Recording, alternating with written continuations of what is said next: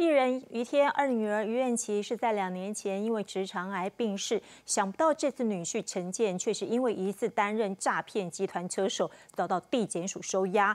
对此呢，实际打电话给于天，他说先前完全不知情，直呼感到可耻气愤，跟大义灭亲怒轰，该关多久就去关多久。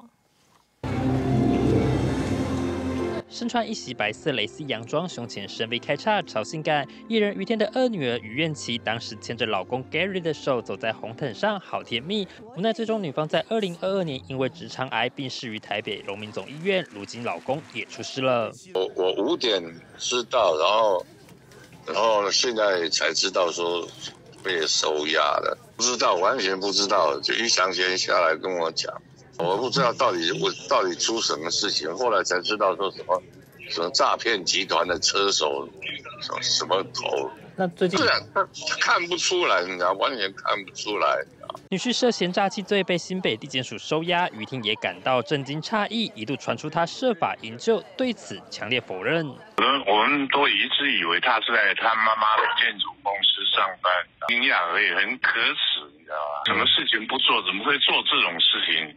我最气的这种诈欺的行为啊，还还做车手的头，真是不要脸，真是。强调自己最讨厌诈骗集团，大义面亲表示该关多久就关多久，甚至提到联系亲家那边，发现女婿也已经多天没有回家。打去问，然后亲家也是也是找不到他，说好几天没回家啦。哦，我在想明天看看，如果找个时间。去去把两个小孩接过来，接回来。转接语音信箱，嘟声后开始计费。致电于院其弟弟于祥全，原先表示真的不清楚，还在了解当中，随即挂断电话。后续再致电就没有接通，打电话给李亚平也是同样状况。妈妈会在天上保护、看护着你们。才痛失二女儿的瑜伽，这回女婿竟爆出涉及担任诈骗集团车手头，旗下还有一票车手，也让好不容易趋于平静的生活再度被打乱。记者黄教育郭宗瑞曾报道？